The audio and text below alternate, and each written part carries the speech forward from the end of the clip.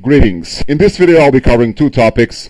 One is Dean Esmay and uh, his new founded group of trolls, and the other one is uh, MRA and those Voice for Men cocksuckers.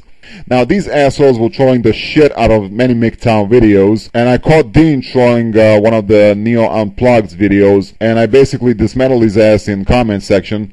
And of course, him being the bitch that he is, he deleted all those comments because I guess it was just too embarrassing for him. Now, I want everyone to pay close attention because I will show you exactly what happened to Dean and the rest of his bitches the last time they tried to sneak into my fucking channel.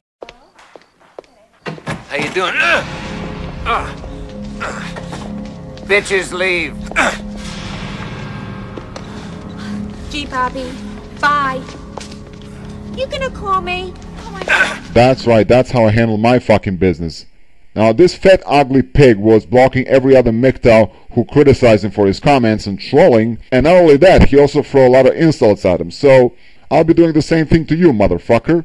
Now, what really surprises me is that you're married. And that's another thing about all you MRA voice of men motherfuckers. You all claim to care about men and men's rights, yet at the same time you share your bed with the fucking enemy. And yet we're supposed to believe that somehow you care about men? Oh no no no no. And what kind of a self-loathing woman would marry herself to an ugly, fat, 12 sandwich eating, greasy, hairy, Grizzly Adams on crack looking motherfucker like you. No woman would ever do that. You are married to a Bigfoot motherfucker. She grows more hair than you do. And a bitch can't even walk without dragging her knuckles on the ground. But I bet she can climb the fuck out of a tree, can she?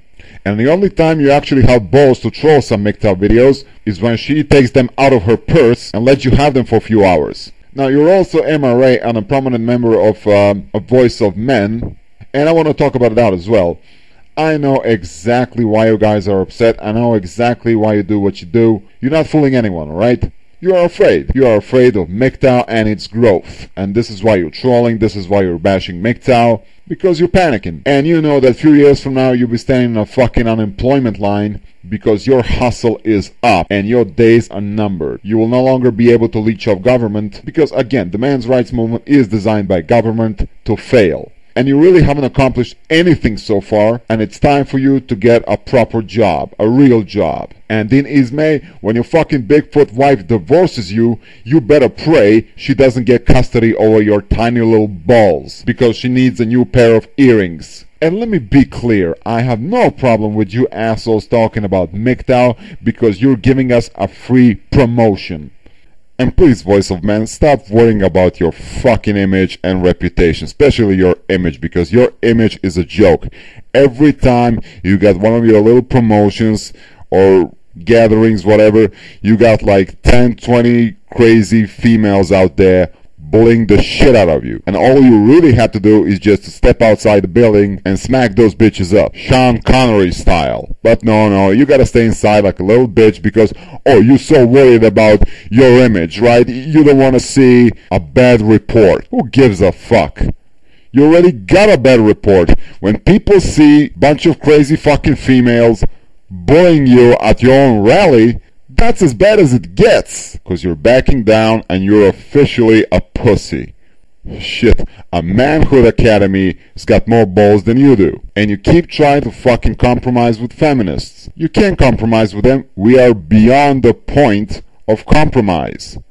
There is no room for compromise anymore. You can only do that when you're on an equal playing field. But it's really an uphill battle now. Besides, what are you going to compromise about? Seriously.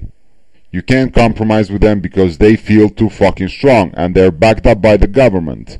And it's not in their best interest to compromise. Why should they?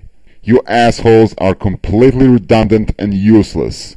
And you're not gonna achieve anything, this is just a hustle for you. And we are putting you out of business. And there's not a goddamn thing you can do about it. So stop trolling MGTOW videos, stop acting like a bitch, and start looking for a real job. So in conclusion, fuck Voice for Men, fuck MRA, you motherfuckers can shine my fucking shoes. And I'm gonna stomp you every time I see you trolling a MGTOW video. And feel free to kill